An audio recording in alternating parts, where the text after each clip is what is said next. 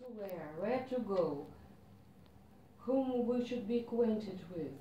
It's wonderful time, and we enjoy it.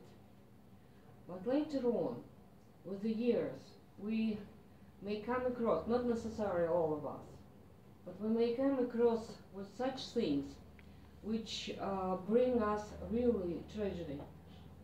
We're deprived of freedom of choice. It may be under three circumstances. First, if uh, people are, well, it was long ago in uh, history, they're slaves, they cannot choose. It was in many countries and in Russia as well.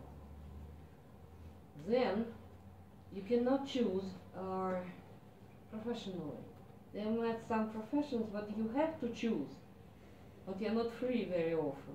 It's jury, all sorts of jury in the competitions and in the court. Then, examinators.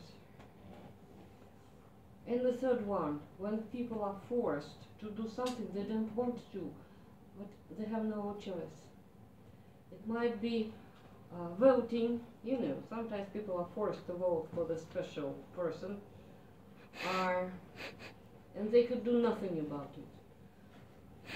It, uh, this thing deprives them of inner freedom. So the only thing, not everyone of us is strong morally enough to forget about punishment that may follow and insist on your freedom of choice. It's a rare thing.